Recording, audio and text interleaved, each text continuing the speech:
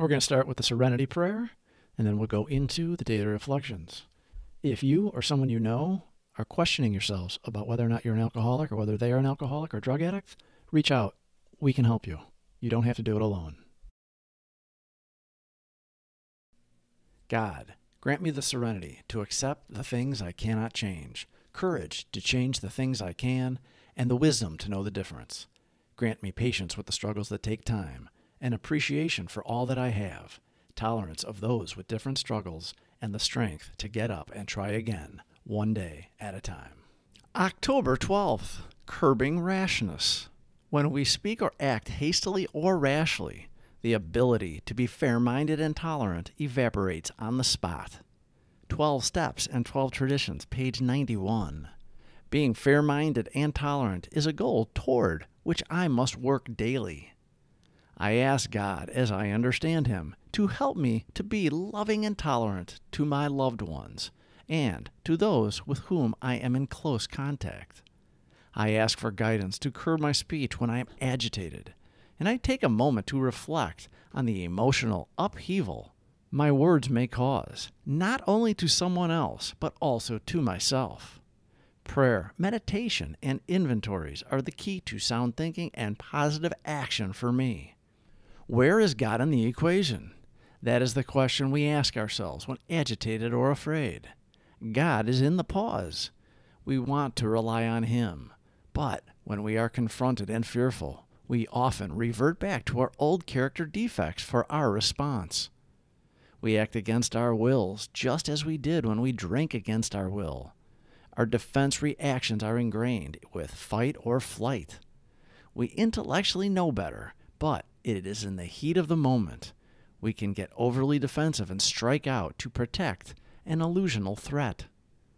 One unkind tirade or one willful snap judgment can ruin our relation with another person for a whole day, or maybe a whole year. Nothing pays off like restraint of tongue and pen. We must avoid quick tempered criticism and furious power driven argument. The same goes for sulking or silent scorn. These are emotional booby traps baited with pride and vengefulness. Our first job is to sidestep the traps. When we are tempted by the bait, we should train ourselves to step back and think. For we can neither think nor act to good purpose until the habit of self restraint has become automatic. We have a daily reprieve contingent on the maintenance of our spiritual condition. We strengthen our relationship with prayer, meditation, and selfless service to others. When we are in the zone, feeling His presence, we react like normal people to stressful situations, and our personal relationships are not harmed. We begin to see that all people, including ourselves, are to some extent emotionally ill, as well as frequently wrong. And then we approach true tolerance and see what real love for our fellows actually means. It will become more and more evident as we go forward that it is pointless to become angry or to get hurt by people who, like us, are suffering from the pains of growing up. Courtesy, kindness, justice, and love are the keynotes by which we may come into harmony with practically anybody. When in doubt, we can always pause, saying, Not my will, but thine be done. And we can often ask ourselves, Am I doing to others as I would have them do to me today? The Golden Rule do unto others as you would have them do unto you. October 12th, curbing rashness.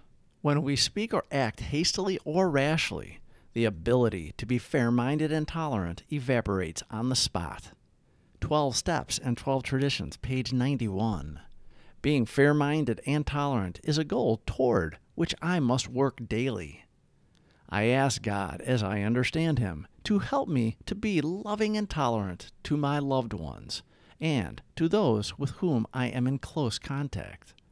I ask for guidance to curb my speech when I am agitated, and I take a moment to reflect on the emotional upheaval my words may cause, not only to someone else, but also to myself. Prayer, meditation, and inventories are the key to sound thinking and positive action for me. Carpe the diem, boys and girls. Please subscribe for more videos. Thank you for watching.